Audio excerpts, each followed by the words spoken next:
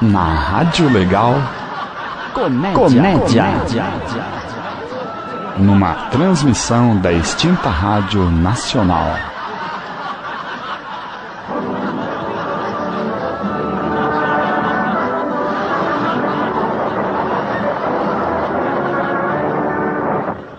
E as pílulas de vidro do Dr. Ross, laxativas e antibiliosas, através da Rádio Nacional, passam a apresentar Tancredo, E trancado. Zé Tancredo Trindade e Apolo Trancado Correia, numa história de Guiaroni, desta vez intitulada Tancredo, médico de Araque.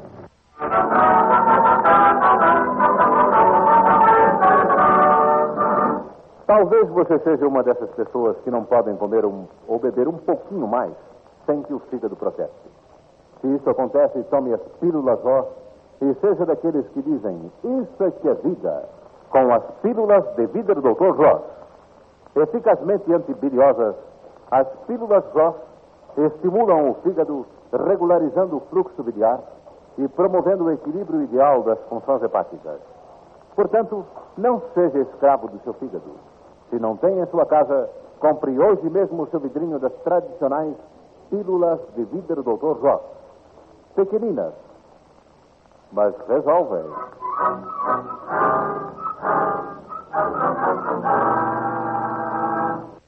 A verdade é essa, mamãe.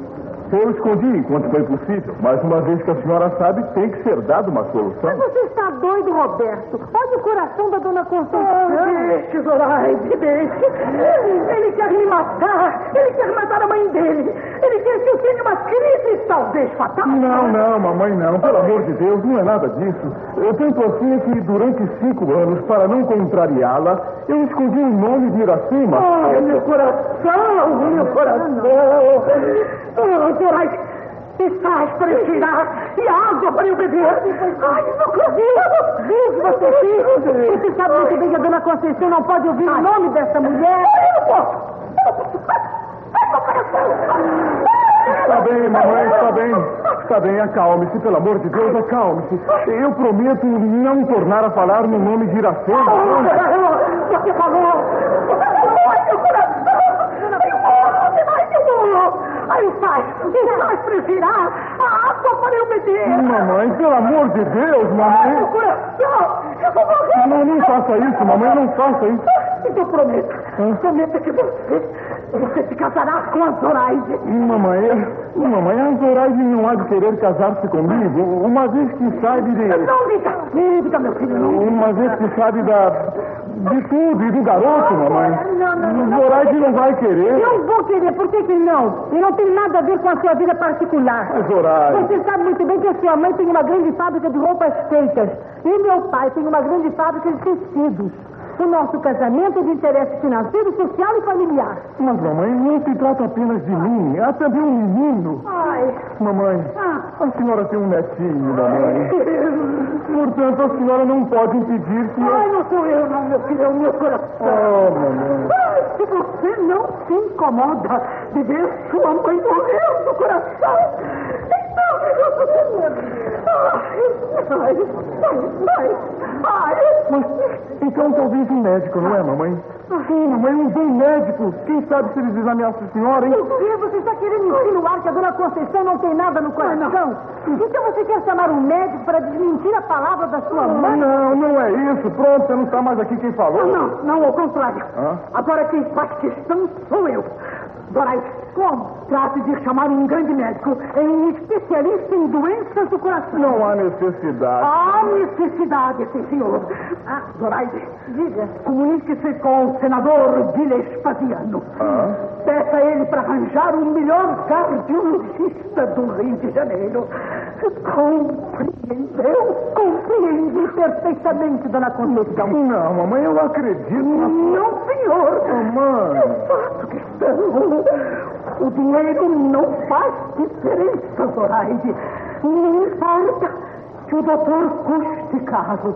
Também. Compreendeu, Zoraide? Compreendi, sim, perfeitamente, dona Conceição. bem. Eu vou agora mesmo procurar o senador Vestagiano. Ah. Até logo, Roberto, querido. Ah, um momento, mamãe.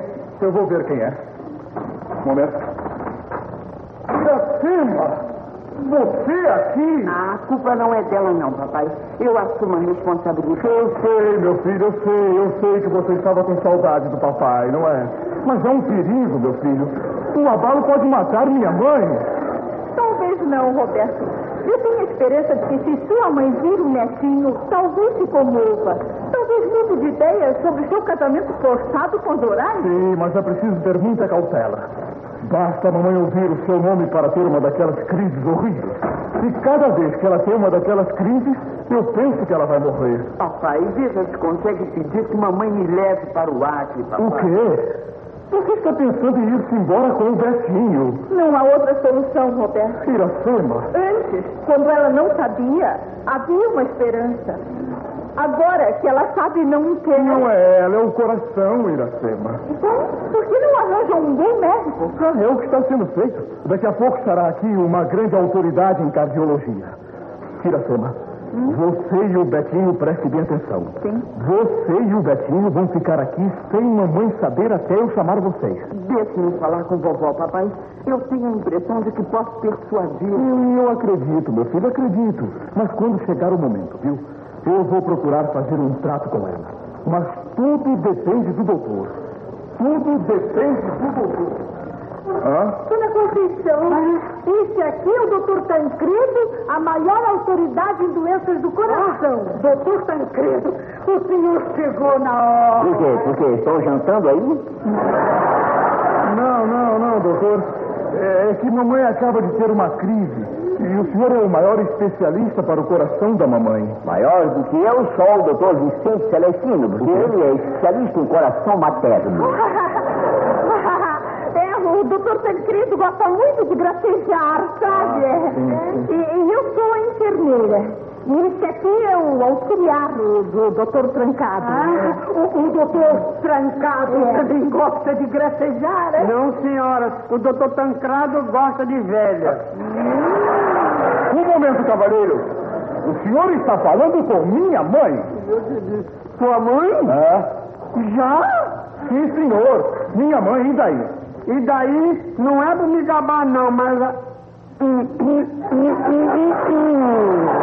Doutor Tancredo, o senhor não acha estranho o procedimento do seu médico auxiliar? Ei, Ele não é bem auxiliar, não é mais Maria Fumaça. Doutor Tancredo, diga-me, doutor Tancredo, só pelo olhar, o senhor não está achando que a dona Conceição tem muita coisa na horta? Bem, minha senhora, isso eu vejo até por cima da cerca. Doutor, doutor, diga-me, o que é que mamãe tem na horta, hein? Na horta tem repolho, não é? Tem nabiça, couve, tronchuda. Não liguem, não. Sim, o doutor Tancredo graceja muito, é. Imagina que ele gracejava até quando recebeu o grande prêmio. O grande prêmio da medicina. Não, o grande prêmio da exposição canina. É. Doutor, se mamãe tiver uma crise, o senhor me prestará socorro de emergência. Claro, claro, eu sou Ah. especialista em socorros de mamãe emergência. Ah, pois então eu posso me dirigir à senhora falando francamente, mamãe. Fala. Ah, hoje a senhora vai conhecer Betinho e Iracema. Iracema! Ai! Ai, ai, eu morro! Ô, trancado, trancado, sai de perto, sai de perto que essa velha vai explodir. Ah, ela vai explodir? Olha, pode explodir que eu ajunto os caquinhos. Doutor, que ela precisa para se livrar da crise? Ela eu não sei, mas eu, para me livrar da crise, preciso de gaita.